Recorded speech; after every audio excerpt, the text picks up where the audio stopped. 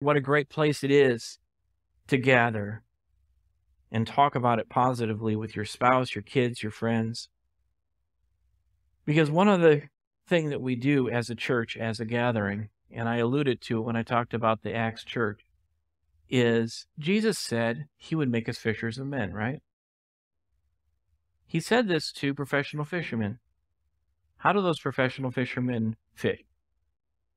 They use a pole, they use a net. As fishers of men, one of the things that we do by joining together is we get to fish with a net. We get to help each other. Every one of us should be a witness. Every one of us should be telling our friends, our coworkers, our neighbors about our relationship with God. We should be testifying about God everywhere we go. But one of the great things about this this experience that we call the gathering, the coming together, is that we're also fishing with a net. That we get to say, hey, you want to come with me? I'm going to a lunch on Tuesday, and there's going to be a lot of great people there. And they come and they meet with us, and all of a sudden they're like, hey, you know what? This was really fun. And then you could say, you know, you want to come back on a Sunday morning.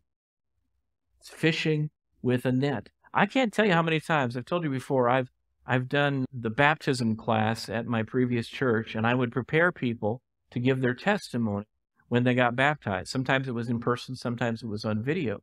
And I can't tell you how many times that they would say to me, Well, you know, I, I came along, a friend from work invited me to this ladies' event.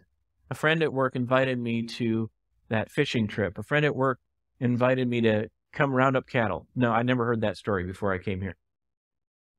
But a friend invited me to come to something, and then I started coming on Sundays. And then after coming Sunday after Sunday after Sunday, one day the message resonated with them and they gave their heart to Christ. That's fishing with a net. We're working together. And together, I believe we can reach this community for Jesus Christ. Amen? Amen.